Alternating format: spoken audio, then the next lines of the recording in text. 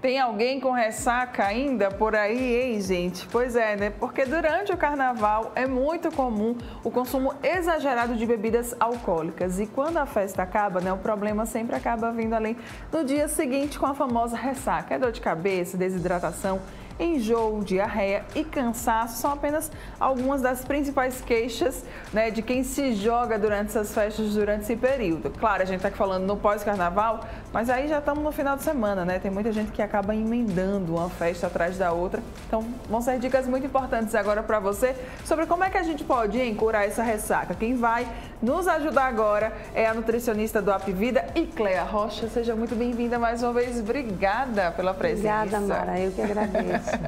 Vamos lá falar sobre esse assunto. Tem como curar ressaca com alimentos, Iclea? Tem sim, ajuda bastante. Sim. Certo? Na verdade, é, o ideal seria evitar a ressaca, uhum. não é verdade? Então, mas quando acontece, com, com quem nunca aconteceu, não é verdade? Verdade. Quando acontece, tem como a gente amenizar os sintomas.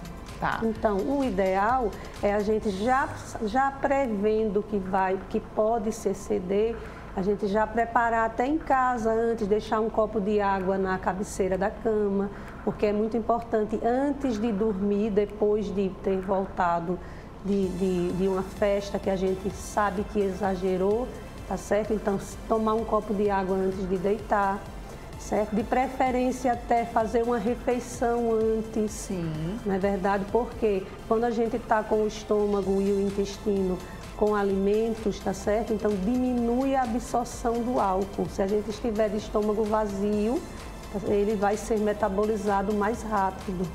Então tentar já ir se programando, se alimentar antes, algum tempo antes, tem, a gente pode tomar chá. Quem gosta de chá, pode 10 minutinhos antes já tomar pelo menos 100 ml de chá, Sim. chá de boldo. Ele ajuda muito a diminuir o efeito do acetaldeído, que é, que é aquela substância que, vão, que vai causar todos aqueles sintomas, certo? Então, chazinho de boldo, 10 minutinhos antes de sair, se for possível.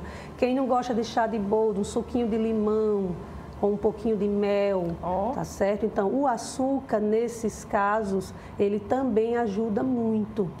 Até porque, gente, é, o álcool ele vai destruir mesmo o açúcar do nosso fígado, uhum. certo? Que é o glicogênio. Então, quando a gente está bebendo, se possível, entre uma dose e outra, um quadradinho de chocolate meio amargo, Sim. ou um pedacinho de fruta, certo? Porque vai estar tá repondo esse glicogênio que a gente perde, que é destruído pela ação do álcool, Muito certo? Bem. Então tá sempre e, e, e água. Água é importantíssima, água. né? Entre um copo e outro de bebida alcoólica, um copo de água ou de água de coco, porque aí a gente vai estar tá repondo é, os, os sais minerais também, porque como o álcool ele desidrata, a gente fica urinando bastante, depois Sim. a gente perde potássio.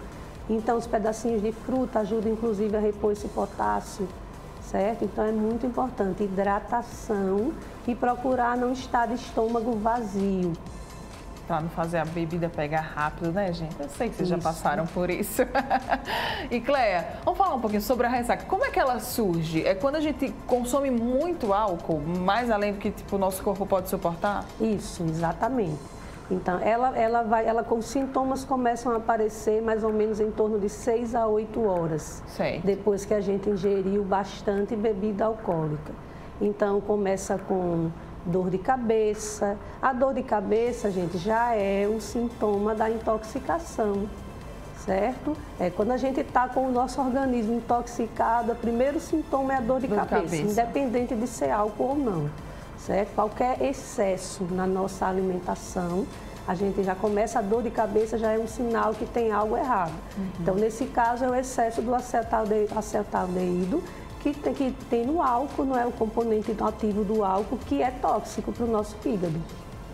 Então, o fígado está tentando processar e aí o primeiro sintoma é dor de cabeça. Aí vem também enjoo, náusea, vômito, sensibilidade à, à luz, ao barulho, certo? e podem vir os sintomas, infelizmente, mais graves. Sim. Certo? Aí vem a, vem a perda da diminuição na coordenação motora, diminuição na concentração, até é, insuficiência respiratória e coma, podendo levar até a morte. Então Nossa. é muito sério. Quando a gente chega naquele estágio de coma alcoólico é porque assim nosso corpo realmente já não conseguiu mais absorver essa quantidade isso, de álcool que nós ingerimos. Isso, né? nosso fígado ele não está mais conseguindo trabalhar, literalmente falando. Ele uhum. parou de processar, não consegue mais, porque foi extremamente quantidade foi muito grande. Certo. Sobre essa questão de comer antes de ingerir essa bebida alcoólica, né? Não tem como a gente dizer não ingira, porque a gente sabe que tem gente que não consegue mesmo. É verdade. É, que começa ali com um copinho e depois já vai-se embora. É, mas assim, o que é que eu posso comer antes, Cleia, que seja bom? Pode ser uma refeição. Sim. Certo? Por exemplo, se a gente vai sair à noite, normalmente é à noite, uma festa, um barzinho, certo? Então a gente pode fazer o nosso jantar antes, se alimentar, fazer uma refeição antes, tá certo? Ou então, até mesmo lá no, lá no local mesmo, a gente pode estar tá comendo petiscos, queijo, petiscos salgados também ajudam. Sim. Então, pedacinhos de queijo, azeitona, certo? Ajudam também. O importante é não estar de estômago vazio. Certo. Se der para se programar, para antes de sair de casa, já tomar um chazinho, quem gosta, ou um suco de limão, porque já vai prevenir, já vai diminuir, na verdade, os efeitos, já vai diminuindo desde antes, Sim. certo? Desde o contato com o álcool. Mas basicamente é não se alimentar, não beber de estômago vazio. Então, se não der para se programar em casa e fazer uma refeição antes, qual que é a sua refeição que você faz normalmente em casa, mas lá você não pode ficar só bebendo, tá certo? Beber mais devagar também, porque os efeitos eles vão sendo mais processados mais lentamente, a absorção vai ser mais lenta, uhum. logicamente tá certo? Evitar também estar tá misturando tipos de bebida alcoólica. Ai, tem muita gente que faz isso, né? Que isso mistura ali a muito. cerveja com a bebida quente e por aí vai. Isso aumenta muito a absorção do álcool, certo? Então, não misturar, tá sempre tomando um copo de água ou de água de coco entre, entre um copo e outro de bebida alcoólica e os petiscozinhos, ou doces ou salgados, queijo, azeitona, ou então a é, fruta, tá certo? Porque a frutose ela vai repor o açúcar que está sendo destruído no fígado, ou um pedacinho de chocolate, certo? Então, e a água. Não, não beber de estômago vazio. Muito bem, era exatamente o que eu queria, né, assim, que a gente chegasse nesse ponto que era o da água.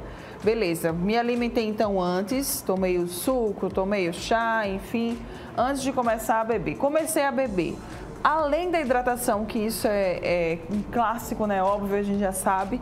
O que, que, eu posso ficar ali comendo, petiscando? Isso vai me ajudar também a não ter tanta ressaca, a, a, fazer com que esse álcool ele não seja, né? Como é que a gente pode dizer? Não sei, consumido, metabolizado, metabolizado, pronto, isso tão é. rápido. É ele não vai ser processado tão rápido. Então, é como a gente estava colocando. Sempre está se comendo algum petiscozinho, de preferência mais saudável, Sim. mas pode ser, um, se você tiver num barzinho, pode ser uma carnezinha magra, um churrasquinho, certo? Ou um queijo branco, ou qualquer queijo que tenha, mas está tá comendo algum tipo de proteína magra, de preferência, mas ou um queijo branco, ou um churrasco, tá certo? ou azeitona, os petiscozinhos, bebendo, procurando beber mais devagar, certo. tá certo? Para ser metabolizado mais lentamente e tomando água ou água de coco, tá certo? Depois, em casa, para o dia seguinte, é, alimentos mais leves, de preferência uma sopinha de verduras e legumes para repor os sais minerais, mais uma uhum. vez, potássio, tá certo? Alimentos mais leves até porque o estômago pode estar mais sensível, certo? Um dos sintomas também de exagerar pode acontecer diarreias também, então, Sim. porque prejudica todo o trato gastrointestinal, não só o estômago, mas o intestino também, o excesso, certo? Lembrando sempre que tudo isso é para o excesso. Se a gente bebe com moderação, a gente bebe tranquilamente a vida toda. Ok. Inclusive tem bebidas como vinho que é até aconselhado tomar uma taça no dia. porque tem aquelas substâncias que são benéficas para a circulação, no caso do vinho tem o resveratrol, certo? Que ativa a nossa circulação. Então, se a gente bebe o álcool com moderação, não precisa proibições nem exclusões. É, é um, um, uma forma da gente estar tá em sociedade, ali com os amigos, certo? Mas tudo com moderação. Ok exagerei, né? Me joguei aí realmente no álcool, uhum. mas aí veio o dia seguinte, acordei, tô com a cabeça doendo, enfim, o que, que eu posso uh, comer, me alimentar para me sentir melhor? Algumas dicas básicas. A primeira dela que a gente sempre tem que tocar nessa tecla, porque é a água. Sim. Então, lembrar de, se possível, deixar um copo de água na cabeceira da cama, para antes de deitar já tomar. É, café, tá certo? Quem gosta de café. É o café realmente ajuda Sim, com ajuda, a ressaca? Porque a cafeína, ela deixa a gente mais esperto. Sim. Não é mais ativo, mais desperto mesmo. Porque um dos outros sintomas é a sonolência. Uhum. Então a gente fica mesmo fatigado, com sono, tá certo? Então a cafeína, ela vai ajudar nesse sentido certo? Então a gente pode até botar um pouquinho de açúcar, porque lembrando que nesse caso da ressaca o açúcar ajuda, de preferência aquele açúcar mais natural, mascavo ou demerara, tanto no chá quanto no café, certo? Então os alimentos mais leves no outro dia, tá? A sopinha, uma salada, frutas, certo? E ter cuidado também com o medicamento.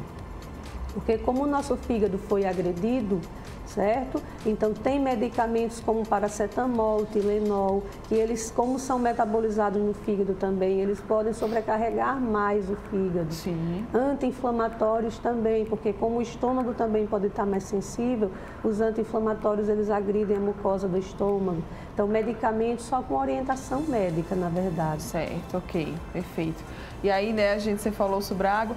Sucos detox, eles também podem ajudar, Ecleia? Fundamental fundamental. Na verdade, a alimentação pós uma ressaca deve ser uma alimentação detox mesmo, certo? Então você pode caprichar no suco de couve com limão, certo? abacaxi com hortelã. Então, é, sucos naturais de preferência. Certo. Você pode variar nas frutas e nos vegetais e adicionando limão é, de preferência, porque é muito antioxidante. Você pode colocar pedacinho de gengibre, porque ajuda também a recuperação do fígado. Um fiozinho de mel para adoçar, para estar tá repondo o açúcar que foi perdido no fígado também. Ok. Então, suco natural com, com gengibre, é, couve, está variando esses sucos detox, as sopinhas leves, as frutas também para repor a frutose, que é o açúcar que vai estar tá é, é, melhorando, diminuindo os danos do fígado. Então, e a água.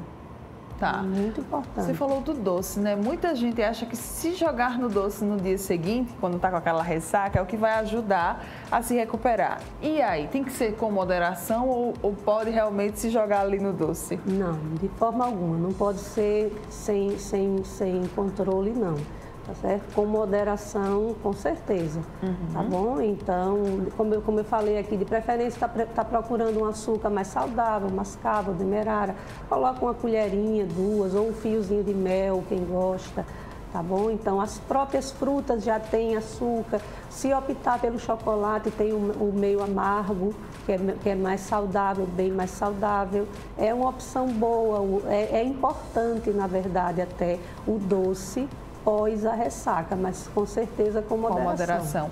Pratos mais leves ou pratos mais pesados? O pessoal acaba também, né, tendo essa ilusão de que, olha, depois da ressaca eu preciso me alimentar bem, eu preciso comer, né, comida. E aí? Sim, não. Na verdade, são pratos mais leves mesmo porque a gente tá, tem que dar aquele tempo para o nosso estômago, especialmente, e intestino se recuperar. Então, para ele estar tá tá nesse processo de desintoxicação. Uhum. Então, realmente, ele está tá sensível. Então, se a gente come um alimento muito pesado, aí é que você pode ter episódio de diarreia ou dor no estômago que já está sensibilizado. Então, alimentos leves, sopas, tá certo? Saladas, frutas, carnes magras, frango, peixe, ovo cozido Muito bem. Estava até falando no bloco anterior, e Cléia, né, sobre a retomada dos exercícios físicos nesse período pós-carnaval. Vou aproveitar para tocar nesse tema, só que falando sobre alimentação. E aí, né? Quero retomar minha alimentação nesse pós-carnaval, uma alimentação mais saudável. Tem alguma dica, Nutri, de como é que eu posso voltar ao que eu era antes, ao que eu estava consumindo antes? Sim, não é? Então, é, é, a gente precisa é, é se perceber, tá certo? que a alimentação ela é realmente ela é a base, né? Sim. E ela precisa, a gente precisa ter esse cuidado sempre com a alimentação. Ser constante, é, né? Então exagerou, tá certo, mas vamos depois daquele exagero, vamos voltar para o ponto de equilíbrio. Vamos buscar estar tá sempre optando pela qualidade do alimento. A gente sempre coloca, né? Tem a, a quantidade, tem a, a qualidade é uhum. é fundamental. Depois da qualidade vem a quantidade. Não basta ter qualidade e a gente exagerar. Sim. Os exageros, tanto para em todos os sentidos, tanto para o saudável também traz consequências, quanto mais para aquilo que a gente sabe que não, que não já não deve exagerar mesmo, como a bebida alcoólica. Certo? A atividade física ela ajuda muito também, porque acelera o nosso metabolismo, certo? Ajuda também a, a relaxar, certo? Diminui tensão, estresse do dia a dia. Então, ajuda o nosso intestino a funcionar melhor, coloca os órgãos do trato gastrointestinal. Quando a gente está se exercitando, está movimentando o intestino. Então, quando a gente está se exercitando, a gente já precisa ter um cuidado melhor com a nossa alimentação.